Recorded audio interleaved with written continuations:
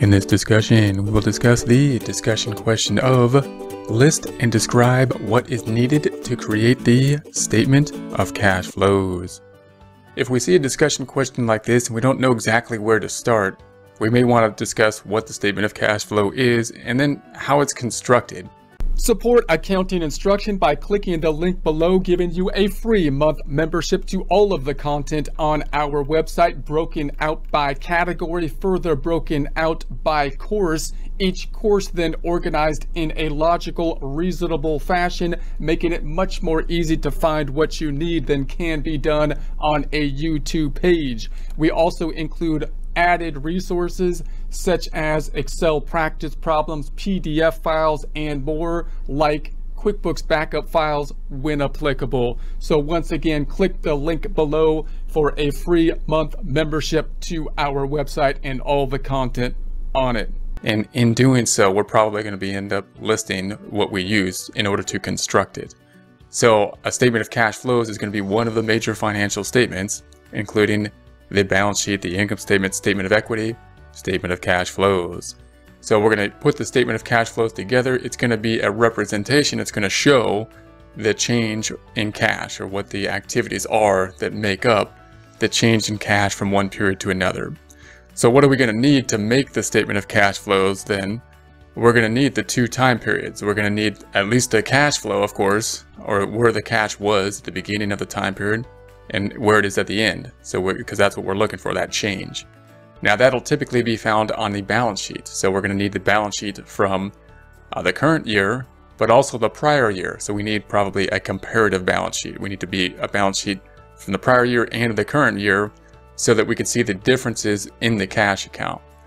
Now we're that's going to be our major tool as well because we're really going to oftentimes look at the differences basically in all the balance sheet accounts. So we're kind of backing into the change in cash, the activity in cash by looking at the change in all of the balance sheet accounts. It's going to be a typical method that we will use. So oftentimes we will take that comparative balance sheet, possibly make another worksheet from it. So we may need a worksheet then that we're going to put together from the comparative balance sheet. Now the comparative balance sheet is what we need. The worksheet is probably what we're going to make from a comparative balance sheet taking that information and put it into a format that will be most easily used to create the, the statement of cash flows. And that'll take us, that'll give us the, the balance sheet items from one period and compare them to another period and then give us a column that will give us the difference between every line item on the balance sheet from one period to the next, meaning the change. So we'll have a change uh, column. That's what we're going to use. That's what our worksheet will basically be uh, formatted in order to help with the statement of cash flows. Those are the primary tools we're going to need. Now, we're also want to have the income statement because the income statement is going to help us to determine uh, many factors within this. So the income statement note is, is showing us activity on an accrual basis rather than a cash basis. So when we take the change in the balance sheet accounts, we're going to try to figure out what the cash basic change is. The income statement gives us some information because it's going to uh, give us that information, the activity that happened on an accrual basis, which will be useful as we work through the process as well. Now there's going to be some items that we, we that's not going to be enough. The financial statements aren't going to be enough. For this reason, by the way, we typically do the cash flow statement last. So we would do the, you know, the income, all the other statements first, the income statement, the balance sheet, the statement of equity. Then we typically do the statement of cash flow using those prior statements to help with the statement of cash flows. Uh, we're also going to need more information. And in real life, clearly we would just know where that more information is as we construct the statement of cash flows. For example, uh, if we see that there's a change in equipment, we're typically going to say, well, there's a change in equipment. That probably means that uh, we purchased or sold equipment, but there might be more detail than that. We might have financed the equipment. Uh, we might have purchased and sold multiple pieces of equipment. We might have purchased and sold equipment. So the change in equipment, so things that deal with the financing and investing activities, are often things that we have to dig deeper in and find more information about because the, just the change in the balance sheet account isn't enough. Now, no, luckily, those, those types of activities, there's not a lot of them. Meaning if we look at the detail for the purchase and sale of equipment, it's not going to be a whole lot of activity as compared to if we looked at the detail for like accounts receivable or something, which is something we do every day. So what do we do in practice then?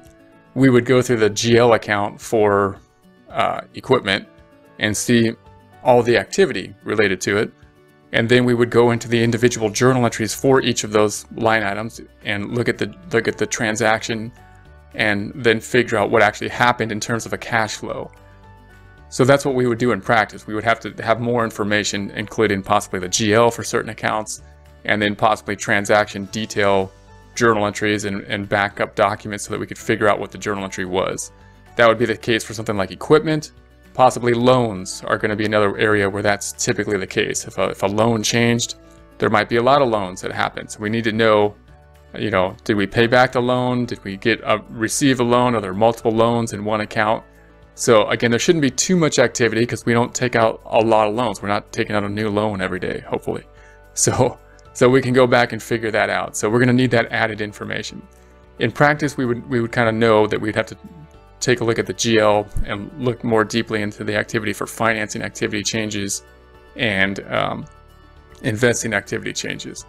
In a book problem, of course, they'll, just, they'll have to give us that added information. They'll give us the comparative balance sheet, They'll typically give us uh, the income statement and then oftentimes added information, which in practice we would get from a GL, including activities related to financing and investing activity changes.